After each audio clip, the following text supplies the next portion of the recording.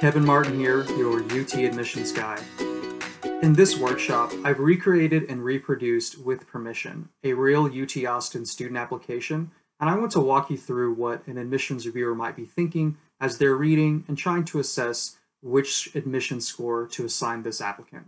We'll look at the essays and the resume and discuss the results at the end. I hope you enjoy this video. Hello and welcome to this transfer application workshop where with permission I've recreated and reproduced and anonymized a former client's application for spring 2020 transfer into the College of Liberal Arts. And I want to make this video to walk you through what an admissions reviewer is thinking as they are reading and trying to assess and score what personal achievement index score to give this student. So we'll walk through their academics briefly, move on to the resume, look at SAA, statement of purpose, and the SAE, issue of importance, and I'll share with you some thoughts along the way, and also the likely score that they received on their um, admissions application, and also their outcome. And so for the transfer process, it's important to remember that Nothing from high school is looked at, like your rank, grades, your SAT, ACT. Reviewers are only going to look at and see and assess your um, college coursework and GPA. So, of course, they'll first look at the biographical information to look for any signs of hardship, um, but there aren't any that are obvious. They're from a, a middle income family with, who has bachelor's degree parents, they're a Texas resident, and it looks like they're at um, Austin Community College. Again, applying for nutrition in the College of Liberal Arts. They had more than 24 hours completed before the October 1st deadline. So the GPA that was used for their admission uh, is a 3.875, and so they were they are taking calculus. They did take calculus the the past fall, um, but admissions reviewers made the decision before the fall semester concluded. Um, for natural sciences, they also strongly recommend that you have calculus completed or in progress, and so that's one reason they did calculus. They had also applied actually for nursing in the previous uh, fall semester for fall 2019, and they did not gain admission. So this is their second transfer application. And it's also important to note that nursing is extraordinarily difficult to gain admission into. They admit maybe one or two external transfer students each year. And so that's, uh, I know in the, in the background, one of the reasons why they ended up applying um, for nutrition instead. Um, the nature of nursing is if you don't get in as a high school senior applying as a freshman, you're probably not going to get in as a transfer, either as a current student or uh, current UT student or from another university. And let's take a brief look at their courses. So they have um, two of the core sciences with labs. So with that and calculus, they have met the um, minimum requirements to be eligible for the College of Natural Sciences. They require you to have uh, substantive um, core science coursework. Even though their overall GPA is a 3.87, making a B in one of those core science courses will um, weigh more heavily against their GPA. So that's something that would be noted within UT's um, uh, calculations for them to make their eventual decision. Um, but overall, it's still a really strong, really strong transcript. And we'll take a look at their resume. So transfer admission is a little bit different because the resumes between different applicants are going to look considerably different um, than high school seniors, most of whom are, are 17 or 18 years old. Transfers come from a wide variety of backgrounds, and so there's no like typical transfer applicant, and it's also fairly common for transfer students to not have too many activities or even any experiences related to their future studies. And so, although the resume is important, it's maybe slightly less important than for first time freshmen. And so, the, the bulk of the transfer review process takes place on the essays. Um, nevertheless, we have two part time jobs um, going back for the past four years. One was a teacher's aide, and they worked in a um, like a milk breast milk fulfillment center uh, in yeah in the Austin area, um, presumably after they moved to enroll at ACC. Um, but in high school, they had a lot of different um, extracurricular activities, leadership. They were captain of the softball team, drum major, vice president, um, and a variety of different leadership positions in their theater and thespian organizations. Uh, freshman treasurer. Um, they are Phi Theta Kappa. Um, UT does ask on Apply Texas if you are PTK. I don't exactly know how or if it plays any role in the admissions process because, again, they're principally concerned with your overall GPA, and most competitive UT applicants for transfer are also going to be Phi Theta Kappa if they are coming from a community college. Uh, moreover, attending ACC does not help your admissions chances. There's no weight or preference given to ACC students. It's simply the case that there's many ACC students who are attempting admission and transfer into UT, so it gives the impression that it that it's more that it's somehow more important than say Lone Star or Collin College or Dallas Community, but it doesn't really make any difference. It's a common question that um, students and families ask me. And they have a, well-rounded uh, portfolio of volunteer activities, and so you know, given that they've been working a part-time job for 20 or 30 hours a week since they moved down to Austin, it's not too surprising that you don't really see any other kind of college or post high school activities, which is totally okay. Again, your admissions reviewer is not going to judge you for the things that you don't do. It just means that the essays are going to make uh, an even bigger impression and play a larger role in your admissions outcomes. So the SAA statement of purpose, admissions reviewers want to know the context of your academic development and growth. They want to know where you've come from in terms of high school briefly, uh, why you've decided to enroll at your current university, any special circumstances along the way, like if you've withdrawn or you've attended multiple campuses or universities. And so there's a, a lot of different kind of specific questions that uh, applicants need to check off. It's a, a little more closed and less open ended than the SAA freshman topic about telling us your story. Um, so this is a, a, fairly textbook statement of purpose. I think it's an excellent example of uh, checking a, bunch of these boxes and sharing um, kind of their development and trajectory over time. I like the very first sentence. I enrolled at Austin Community College on my parents' advice. Um, they encouraged me to finish my general studies before pursuing my nursing degree. Um, they talk about how nursing didn't uh, work out for them and you know, I think I, I, see this so often with students who are transferring is in retrospect, they will talk about kind of wishing that they had done CAP in order to guarantee a pathway into their dream school. They get turned off because CAP only guarantees admission into liberal arts, but internally transferring into natural sciences is a fairly straightforward process.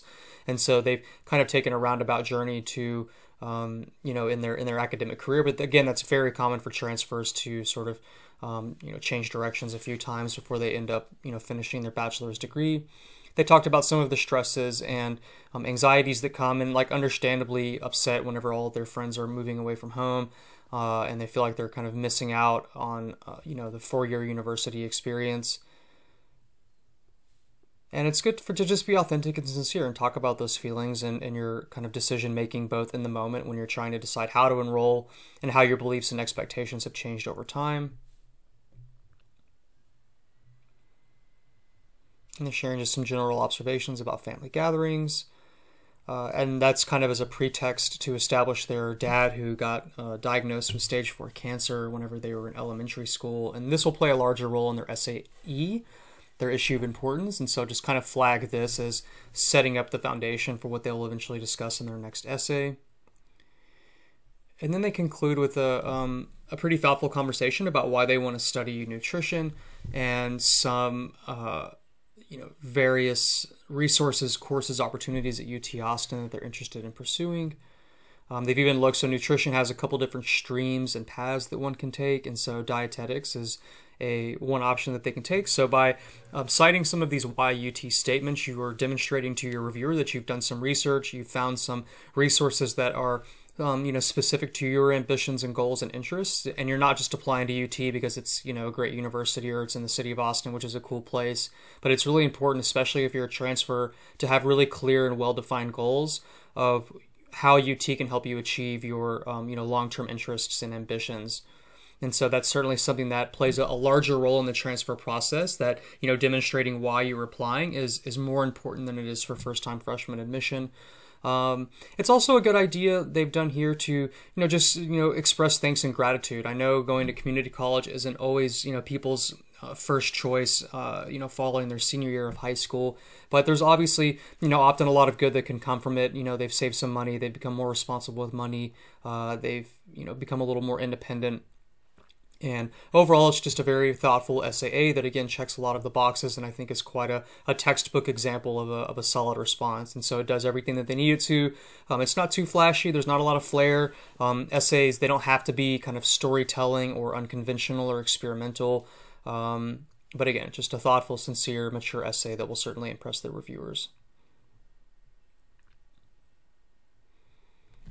So let's look at the SAE that uh, requires students to discuss an issue of importance. Um, this issue can be something an individual and their family life, their community, school, uh, city, state, um, national, international problems. So it's quite a broad topic, and uh, they've decided to um, talk about, you know, go more in depth about their uh, father's cancer diagnosis and chemotherapy and treatments and how it was, you know, it was quite tough and kind of how life had changed before and after. Just as a little backstory, when the student originally sent their first draft, they thought that it was going to be an SAC, special circumstances, and throughout the drafting process, we pivoted more towards the SAE. First of all, because there wasn't enough here to to make for a special circumstances SAC. That essay is more for something that has directly impacted you and had kind of significant uh, consequences for your academic opportunities. Perhaps you had to take a lot of time off from school. Your grades have um, suffered, for example. Um, I think, you know, for example, if you yourself lived with cancer, then that would almost certainly be a, a special circumstances SAC. Also, since this happened in elementary school, it, it you know it's just kind of a little too far in the the past to make kind of an explicit um, provision for hey, like I need to you know talk about more that it wasn't already mentioned in SAA. Um, sometimes students that might have a par- paragraph or two of a special circumstance, like they've withdrawn for a semester or they had to, to um, like drop a few classes middle of the semester. So if you want, to, if you do have special circumstances, maybe try and fit those into SAA, um, unless it's something really significant and serious um, that you need an entire essay for. Oftentimes, you can work that into an SAE and develop it a little more thoroughly. Um, so of course she talks about kind of the trials and tribulations of how she and her family and her father were able to um, yeah kind of how how he overcame but then as well um, her uh, her dad's father or her dad's mother um, also was diagnosed with uh, liver cancer and, and, eventually took her life. And so this is something that's, that's clearly personal to the family beyond just their, their father. And it's obviously something that might run in the family, perhaps, if, um, you know, yeah, if she ends up getting sick as well. And it's interesting that um, after uh, the dad and the grandma's diagnosis, here's where they start to talk about their fit for their major in terms of nutrition, how their mom started to kind of go on a, a diet craze and um, kind of regulate some of their eating habits and the food that was coming into the house. Um, if the cancer wasn't genetic, she reasoned it must be environmental or due to the diet. Understandably so, she didn't want me or my brother to receive an early cancer diagnosis. Um, I hated giving up Doritos, but I grew accustomed to eating spinach and leafy greens and substitute for grain and processed food. So they talk about some of their own eating habits and, and dietary habits that they ended up changing and reforming. Um, and how even when they've moved away from home that they're eating at home which gives us new, more nutritious saves some money um, cutting out you know processed and high sugar foods maintaining an active lifestyle also matters i played team sports for most of my life um, running together with my dad who also says he feels lucky to be alive pushes me to go the extra mile uh, we run local lit races and 5ks and so again, it's almost like an extension of the SAA. It has a little bit of an element of describe the environment in which you were raised, which was the former SAA topic for first-time freshmen. Um, but again, it's just a really kind of solid example that talks about a, a personal uh, event and tragedy within their lives. And they've also done a really important thing by identifying kind of a before, a during, and an after. And the after where they talk about the uh, reforming of diet and nutrition habits, that is what really establishes their um, interest in their first choice major. And so that's um, you know sufficient to communicate to reviewers that you know they've considered thoughtful reasons for why they have you know decided for nutrition as opposed to say biology or any other major within the College of Natural Sciences. Um, so you're also welcome to pause this if you want to read the essay a little more closely. I've also recreated this as a blog post on my website, uh, texadmissions.com, so you can um, view it a little more in detail there. So like I've already said, they have a you know a really solid application. Um, I mentioned that earning the B in one of those core science courses will definitely take their GPA down a little bit because uh, admissions reviewers will look independently at a STEM GPA um, versus the overall GPA if they're applying for natural sciences or engineering. Uh, I talked about how it's not necessary to have uh, you know kind of relevant experience on the resume that fits to your first choice major, but they demonstrated a lot of leadership and a commitment to service. They were involved in a variety of different activities in um, at their high school, and you know I think they do enough work in the SAA and SAE talking about how uh, you know walking through the reviewer the steps of how they achieved their uh, you know future how they achieve their current goals and have made the most of their resources at at uh, Austin Community College. Um, I think it's uh, I think this is a pretty solid four. Uh, I think if there's 100 reviewers that are reading this, maybe two thirds of them would see it as a 4. I think there might be some that would be particularly moved by the um, story and SAE and, and, assign them a 5. Uh, I think the likely score is probably a 4.5. Um, they were admitted for spring 2020 to the College of Natural Sciences. Uh, the average admitted GPA for natural sciences is around a 3.8 or 3.85, and so they probably were, this probably was like kind of on, on the border. It's hard to say if they would have gained admission for fall 2020, which is uh, generally more competitive than for spring, um, but I think it's great that, that it ended up working out for this student, and I hope that um, you've learned a little bit about how admissions reviewers are reading and scoring these uh, UT Austin external transfer applications. Thanks for watching. If you enjoyed this video, please leave a comment and subscribe to my YouTube channel. You can find more helpful information at texadmissions.com blog. And in the information section of this video, I provide links to a free online email consultation if you're interested in potentially working together, and links to my book, Your Ticket to the 40 Acres, and my premium course, Getting into Texas Universities. Thanks, and I hope to see you again soon.